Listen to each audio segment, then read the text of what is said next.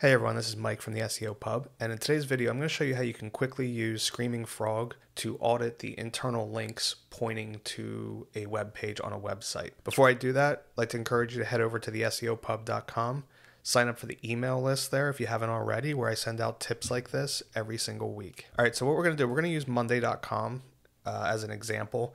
And I'm just going to use their blog just to make the crawl a little smaller so it's not crawling the entire website. But normally you would want to crawl an entire website if you're doing this. And I already completed the crawl, just crawled their blog. And then what you're going to do is go to bulk export links and all anchor text. And you're going to export that into a CSV file. You can use Excel or I like to use Google Sheets. So I uploaded it to my drive and then opened it up into Google Sheets. And what you have here is the source column is where the link is coming from.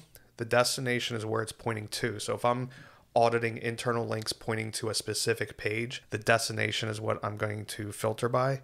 And then you'll have alt text, which will show any image links that are point. It'll show the alt text of any image links that are pointing to that page. And then obviously anchor text is going to be the main main thing we're going to look at. And i'm going to use a filter here. We're going to filter by condition. We're going to use text contains. And i already picked a blog post to theirs before this video just to use as an example. So there's one about crm automation. So we're going to filter by that's the uh, the slug on the the end. So that's going to sort by the page that we're looking at. And source over here, these are the pages that are linking to this page.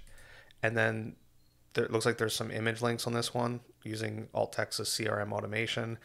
And these are the anchors of the other links. And they're using what is CRM automation. I may not like that brackets behind it. So that might be something I want to look at and maybe optimize a little better. Um, maybe custom CRM automations is not really what I want there. Um, that might be one that I want to go look at and change. Maybe I have a different page that's devoted to custom CRM automations, and maybe this one is much more just answering the question of what is CRM CRM automation and focusing on that search intent. And you can do this for any page on a site.